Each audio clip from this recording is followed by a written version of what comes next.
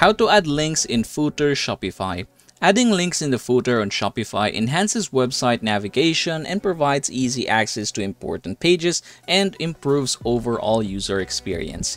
Now here's how we are going to do it. I'm just going to go ahead and show you the sample in here. This is my store and if I were to go ahead and scroll down you can see that I have almost nothing in here except for the payment methods and we're going to go ahead and fix that one. So go back here in your admin panel and then we're going to go ahead and customize our theme. Alright, now that we are here, go ahead and scroll to the footer section. Now you can see this one here, go ahead and click this one. Now there are a few things that we can use in here. For example, you can add an email sign up. As you can see, it appears right there. And you can add heading, for example.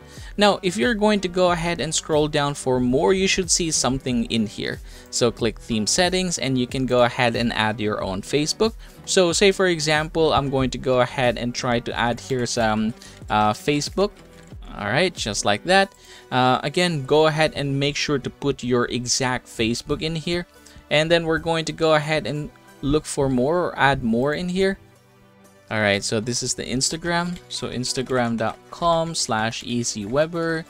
Um, you can also go ahead and put your YouTube channel, TikTok, Twitter, and all the others down there. Alright, say for example, I have added these two. We're going to go ahead and close because there's other things that we are going to put here. Now, I'm going to go ahead and add a block and I'm going to go ahead and choose text block. Now here in the text block, we're going to go ahead and edit that one. So here, this is our heading. So I'm just going to go ahead and uh, name this one important links or quick links. Say for example, like that.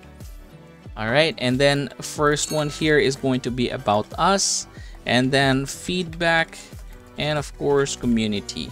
Now we are going to go ahead and put some links in each one of them. So I'm going to go ahead and highlight this one, click here, and then we're going to go ahead and choose a link. So go ahead and choose between the options here, or if you have the link, you can definitely paste it in here.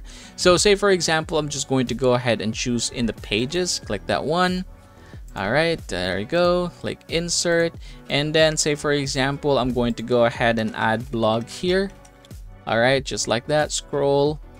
All right just like that highlight click insert click this one here and then you have their blogs. All right there you go. So you can do the same thing for all the others. Again you can go ahead and copy your link and then paste it in here. So yep once you're done doing so go ahead and save this one. We're going to go ahead and see it in here Alright, there you go. As you can see, we have our quick links, we have subscribe, and you also have here your social media links. And you have congratulations everybody, that is how you're going to do it. Now you know how to add links in your footer here in Shopify. As always, please don't forget to subscribe to the channel and leave this video a like if it helps you out.